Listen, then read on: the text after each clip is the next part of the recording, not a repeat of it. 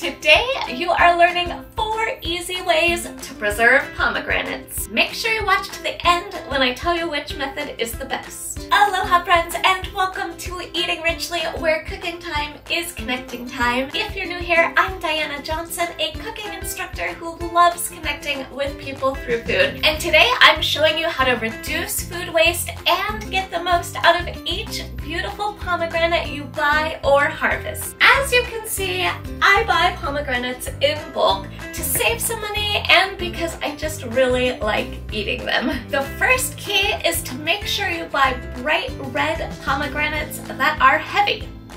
The heavier they are, the more juice they have in each little seed. And ripe pomegranates have flatter sides from the pressure of those juice-filled arils or seeds. So don't buy ones that are perfectly round like a ball. Apply gentle pressure with your fingertips to make sure that the pomegranate is firm with no bruised, mushy spots. Brown marks are okay as long as the rind isn't split open. This can happen naturally when the pomegranate is so ripe that the seeds are just bursting out, but it can also happen from a fall. If you're eating or preserving a broken pomegranate right away, it's fine to buy one, but don't let them sit long because they will go bad quickly. And that's a crime. Pomegranates can be kept whole on the counter for about a week, in a cool dry place like a basement for about a month, or in the refrigerator for about two months but you can also preserve them for up to a year using four different methods. And if you don't know how to open a pomegranate,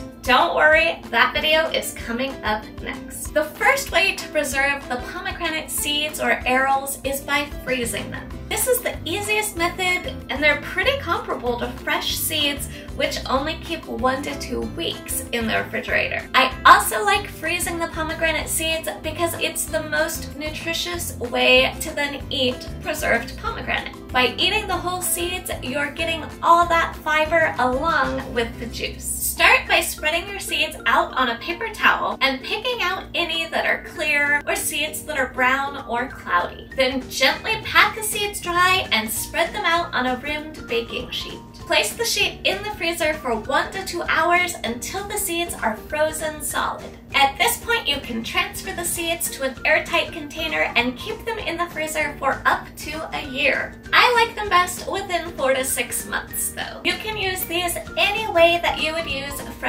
pomegranate aril. I like them with Brussels sprouts, on top of pumpkin oatmeal, or in a sparkling cocktail. The next way to preserve pomegranate seeds whole is to dehydrate them. I don't use this method often, but it gives you this unique sweet and sour ingredient named anardana, which I am likely mispronouncing. The taste is similar to pomegranate molasses, which we will be making, but you can use them in things like rubs or chutneys where you wouldn't want to be adding a liquid syrup. They also add a nice texture and flavor to salads and soups. Think of them as a way to add a sour fruitiness that is great for layering in flavors. The cook I talked to when I was in Sri Lanka air dries the seeds over about 10 days because they don't have an oven. But you can use a food dehydrator or dehydrate them on the lowest heat setting in your oven. Spread your seeds out on a baking sheet lined with parchment paper. Bake for about 4 hours at 170 degrees Fahrenheit using a spatula every hour to stir them and make sure that they dry out evenly. Once your anardana is complete,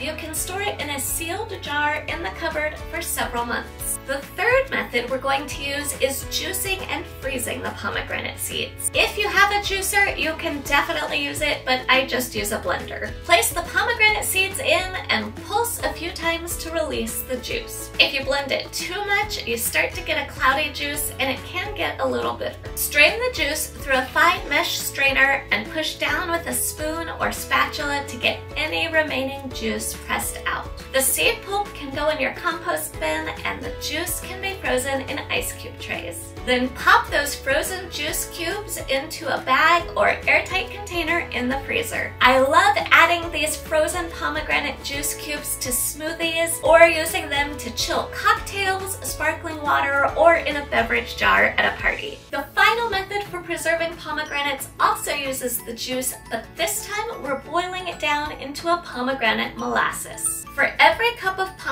juice you have, you'll need a tablespoon of brown sugar or unrefined coconut sugar and one and a half teaspoons of fresh lemon juice. Bring your pomegranate juice to a gentle boil, then stir in the sugar and lemon juice until the sugar dissolves. Reduce the heat until it's barely simmering and let it simmer about 15 minutes if you started with one cup of juice or up to an hour if you started with four cups of juice. You want to finish with a thick syrup consistency that has a deep red color. And if you want a sweeter dessert type syrup, you can always add more sugar while cooking. Store your pomegranate molasses in a jar or a glass bottle in the fridge for a few months. In addition to using it to glaze meats or in stews or curries, you can add pomegranate molasses to cocktails, stir into sparkling water with some orange juice, or drizzle over vanilla ice cream. Now you know four different ways to preserve pomegranates at home